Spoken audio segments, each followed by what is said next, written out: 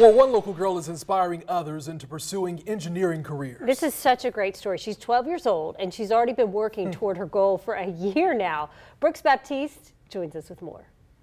Today we're featuring Gabriella White. She's a 12-year-old aspiring architect and she's always loved art.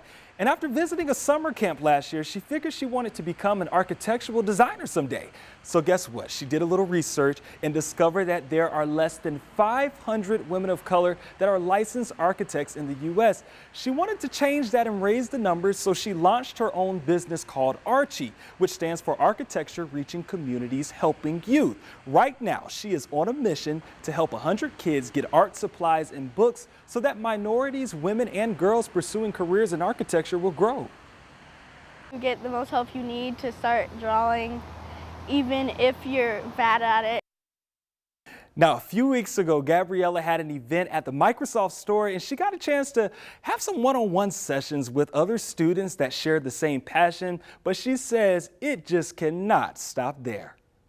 The big dream is actually to make it get big enough so it can help, it can, it's really known worldwide. And also so my, my mom won't have to work and my, cause I know she really doesn't want to. And my dad, I want to make sure they're great for retirement.